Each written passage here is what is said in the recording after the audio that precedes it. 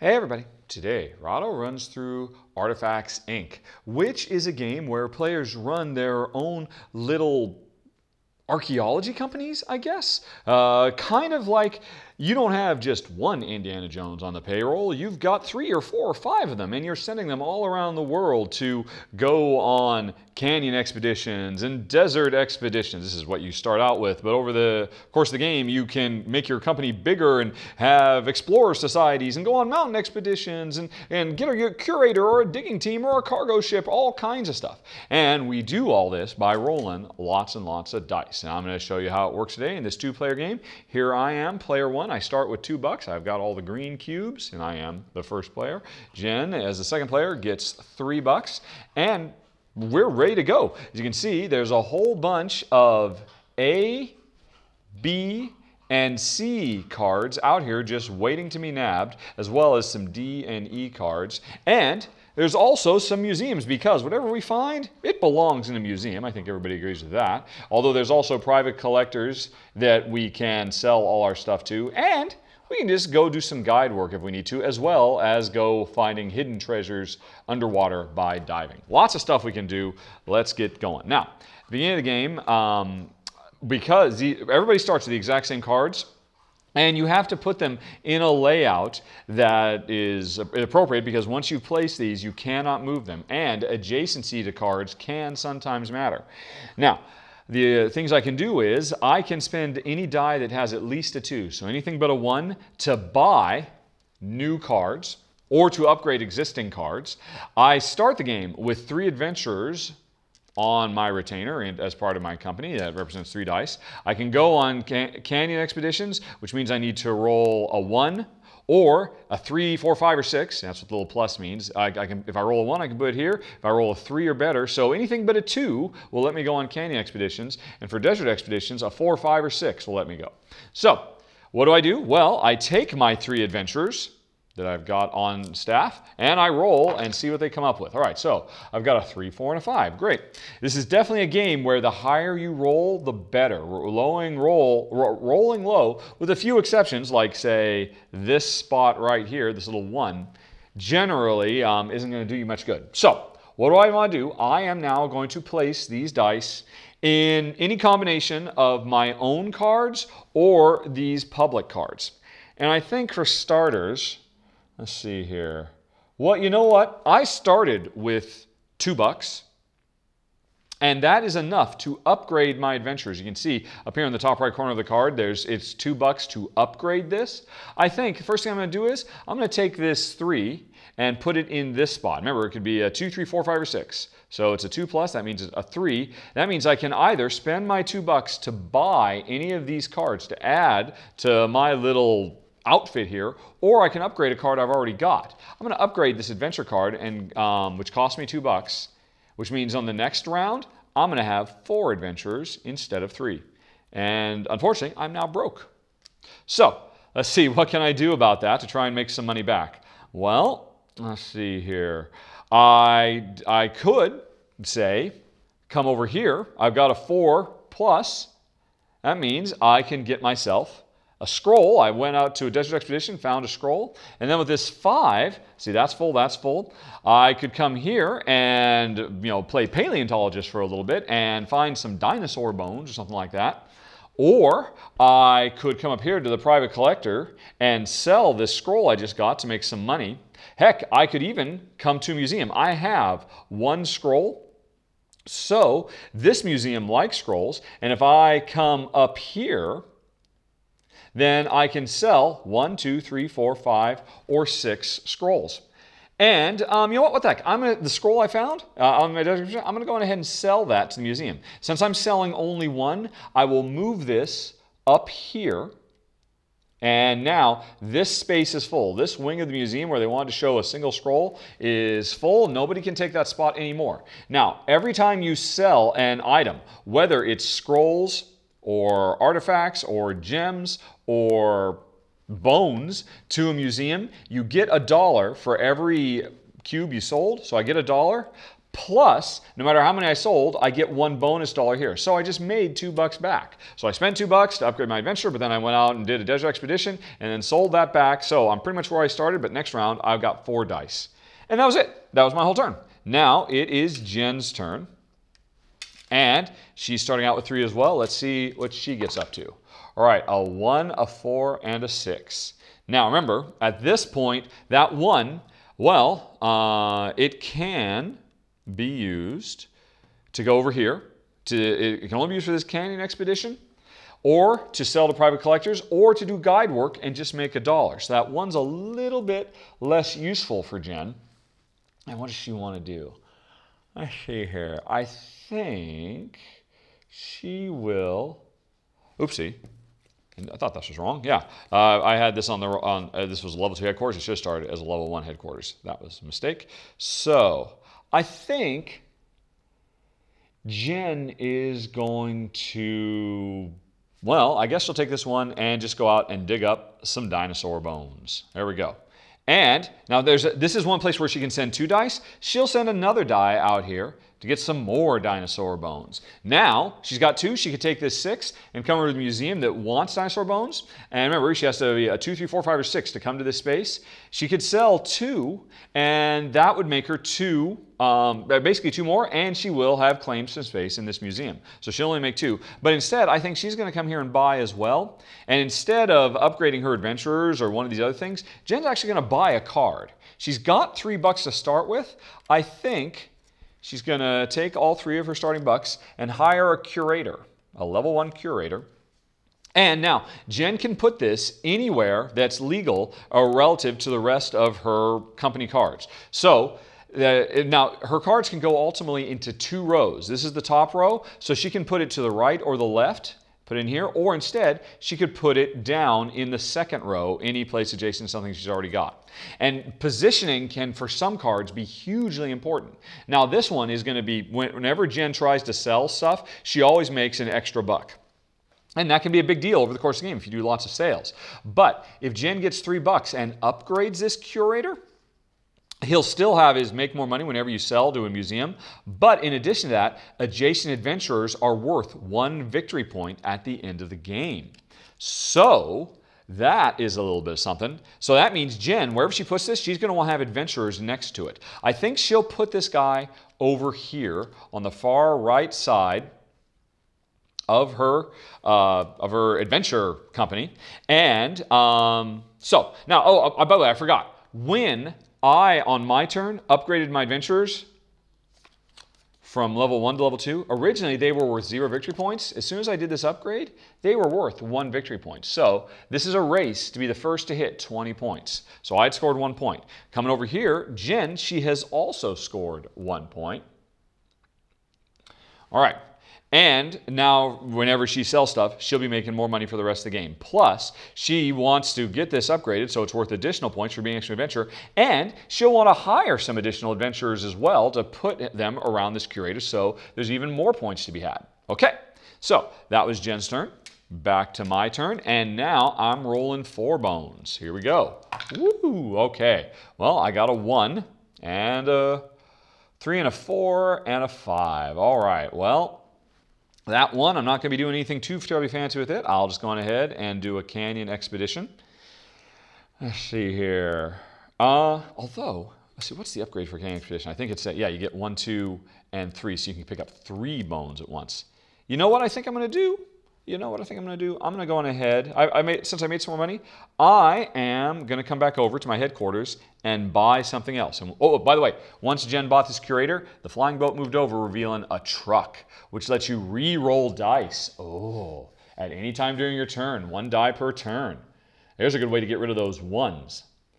I see. What I was thinking about, I was going to go on ahead and upgrade my head, my canyon to be three, and then I was just going to have my other three dice get me three dinosaur bones, because then I my one, my four, and my five, and so I'd have a lot of dinosaur bones that I could sell over to this museum. I could sell them three at a time, and that would have been cool. But I loves me a truck. Who doesn't want a truck? Yeah, I think that I think. All right, so I'm going to buy, and I'm going to pay one buck to get this truck. All righty. And this, get, this is going to be worth one point, so I've scored my second point. And now, what's this power on the back? Reroll two dice. So this doesn't have any particular meaning or value for where it goes, other than there are other cards out there, like say this flying boat, that wants to be adjacent to um, B cards. Now this is an A card, but I think if I recall correctly, yeah, no, it's B and C's. Is there one that wants to be adjacent to A's? Yeah, there is. There's this tour agency, which might show up eventually in the game, where I might want to ensure that my A cards are in a position like here and here, and then I'd put like the tour agency there, and then I'd put another A so I could get a whole bunch of adjacency that way.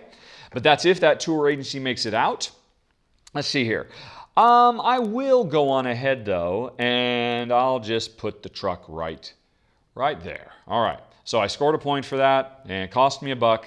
And now I cannot buy or that anymore because I've already filled up one space. And I've still got, so I'll go on ahead and get one dinosaur bone. And although, wait a minute, no, I don't have to be stuck doing one dinosaur bone. I'll use my truck now and re-roll this one. And a four gives me a lot. Now, a four, the only thing it can't do is come to this expedition, but now I've got access to more stuff. Let's see here. So, and I've still got one buck, but I can't buy anything anymore. Um, actually, it's funny. As much as I, you know, thinking about it, I probably shouldn't re-roll this one just so that I can put this here along with this so that I can get two dinosaur bones. So even though I have the truck for re-rolling, at this point, I think it makes sense not to re-roll and just keep that one. So I got three dinosaur bones. And now with this five, I can come over here to the museum and sell all three dinosaur bones and fill up that space and make three bucks. So next turn I got four bucks, then I can start making some big buys. Okay, and so now it's Jen's turn again. She's gonna roll her three dice because she still only has three adventurers. And, oops, I guess it was a six. And there's an interesting thing going on. I already now have exhibits in two museums. At the end of the game, oh, oh, and I should say, because I have the most exhibits in this museum, uh, if the game, no, wait, no, wait. Does the game? No, we don't score the exhibits until the end of the game, do we? I believe that's the case. Let me double check that. Because basically, whoever has a majority in any museum, there are points to be had three points, three points, four points, and four points. And I believe you don't score those until somebody has crossed the 20 point threshold. Let's see. Um, here it is. Then the turns gain. Yeah, you don't get your museum majorities until the end of the game. So right now, I'm in the running to get six points at the end of the game if I can hold on to the majority of these two museums. So that's uh, interesting as well. So anyway, so Jen's got her dice. Where is she going to go?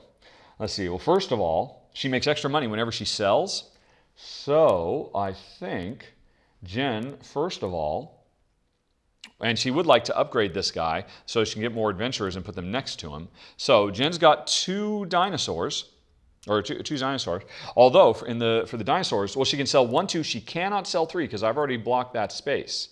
But she could go on ahead and well, she doesn't have a one, so she can only pick up one dinosaur. If she could pick up two dinosaurs, then she could take the four space, and then she'd effectively be in the lead. If at the end of the game we're tied on how many cubes, whoever did the biggest exhibit wins that, that area majority. By the way, I forgot. I scored another point. Um, in case you forget to score points as you go, you can always just take a quick look and see how many points you've got. I've got two points. Oh, no, I did. I did do it, right. So what is Jen going to do with her stuff? Well, she needs some more money before she can buy anything else. So I think she will go on ahead and, for starters, oops, and that die is out of the way. She'll use this two she got to sell the two dinosaur bones she got to the Dinosaur Museum, which gives her one, two, and no bonus. So one, two, but because of her curator, she gets three, so she just made three bucks off of that first action, and then she's got two more. So she could buy something else. For instance, she could now afford to upgrade her curator, or not for her second thing, she will do a buy. Use this four and spend the three bucks to get an adventurer, which is now which she will put here, let's say. And so now in the future rounds, she's getting four dice as well, and she just made a point. So we're tied up on points, and then she's got a six. So, da, da, da, I think, well, she wants to be able to sell as quick as possible. She'll go on ahead over here and get herself a scroll. All right. So there we go. And that was her turn. So we're all tied up. And now it's my turn. I'm rolling four dice once more. Woo, okay. Oh my gosh, look at all these ones. Wow, okay. Well, three ones, that's kind of a death sentence. I mean, well, that's not entirely true. I can do guide work with a one, I can do private collections with a one, and I can go to uh, Dinosaur Canyon with a one. But you know what? I think I'm going to use this truck right now and re-roll one of these. And okay, there we go. So six. So my truck paid off. Now, in the meantime, I got these ones, so I might as well come here and get me some bones. And then my other one, let's see here. I could just come, well, no, I actually, uh, one won't even let me, well, one will let me sell scrolls, but I don't have any scrolls. Plus, I'd need to have at least two scrolls to fill the number two spot. So I think this other one is just going to come over here and do some guide work. So now I've got five bucks, and I've still got my four and my six. Let's see. I could have upgraded my truck, which would give me another point and would let me roll two dice a turn. But I'm happy with the truck for now. I think I've got five bucks. I should go on ahead and make a big purchase, I think.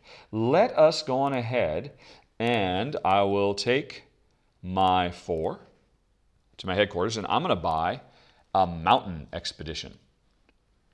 No, I'm not, because to buy this, I need four bucks and a scroll. So, first of all, I'm going to send my six over here to get myself a scroll. Then I'm going to send my four over here to buy the, oh, which one? Yeah, I'll, I'll buy the mountain expedition.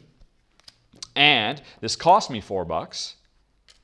And the scroll I just found. And so now I've got this, and I need to place this somewhere. This is going to be worth another point. And um, basically, at the beginning, of fives or I, I, can find a single gem every turn. If I upgrade it, I could, with a four and a six, and this isn't a, well, of course the six is the top of the line. So where am I going to put this? This is a B card. If I'm still thinking about putting stuff next to my A card, maybe I'll put this over here, let's say. Because maybe I'll get the, like, you know, if I get an archive, I get one point for every adjacent B. So I probably want to put this someplace that I could put my archive next to, and then I could put some Bs around there. So that makes sense. So I have just now expanded my operation to explore the mountains in addition to the desert and the canyon. And that was my turn, and now it's Jen's turn again. And she's got one, two, three, four dice. And I just rolled five for some reason. Let's just uh, go with these ones.